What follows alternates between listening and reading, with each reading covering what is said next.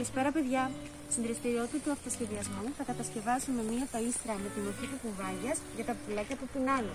Τα υλικά που θα χρειαστούμε είναι ένα κουτί από γάλα, κόλλα stick, κόλλα σιλικόνης, ένα ψαλίδι, ένα μαύρο μαρκαδόρο, ένα ξυλάκι, δύο λευκά καπάκια και δύο μεγαλύτερα, τέμπερες, νεροπογιές ή μαρκαδόρους και δύο κόλλες α4. Για να δώσουμε λίγο χρώμα στο κουτί από το γάλα, θα το τυλίξουμε με την κόλλα α4 και ύστερα θα το χρωματίσουμε με όποιο σχήμα και σχέδιο εμείς θέλουμε. Ξεκινάμε βάζοντας λοιπόν κόλλα στο α4.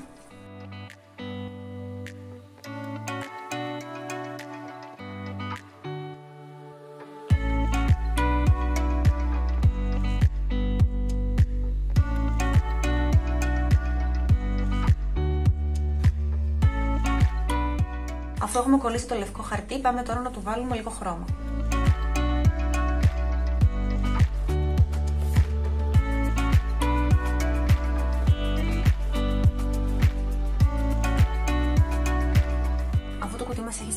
Το κλείνουμε με το καπάκι ώστε να διατηρεί μέσα τον αέρα και στη μέση περίπου του κουτιού, προσεκτικά με το ψαλίδι μας δημιουργούμε μία τρύπα ώστε να δημιουργήσουμε το στόμα της κουκουβάγιας και εκεί μέσα να βάλουμε το φαγητό.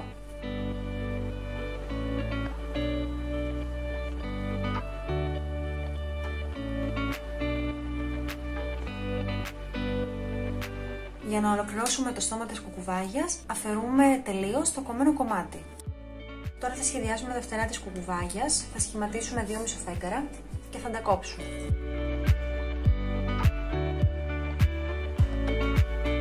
Τα βάφουμε και αυτά με το χρώμα που είχαμε βάψει προηγουμένως στο κουτί με το γάλα.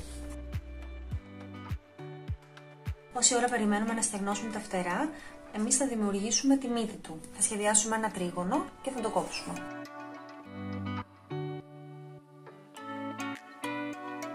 Τώρα θα κολλήσουμε τα μάτια. Πρώτα θα κολλήσουμε τα λευκά στα πράσινα και ύστερα όλα μαζί στο κουτί.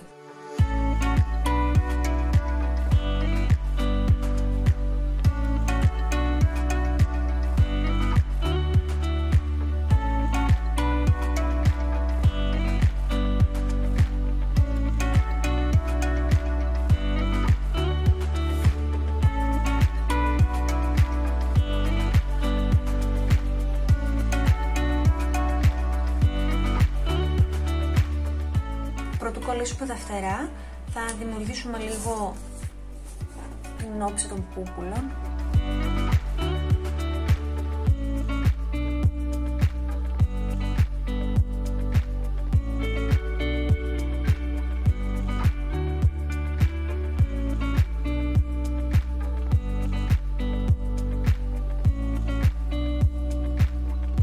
Βάζουμε κόλλα στο πίσω μέρος της πάνω πλευράς και τα κολλάμε.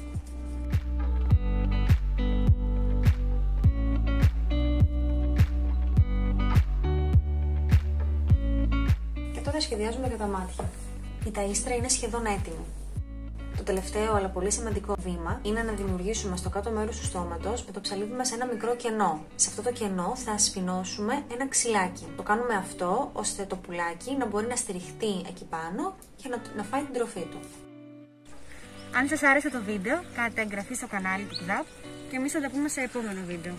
Φιλιά πολλά!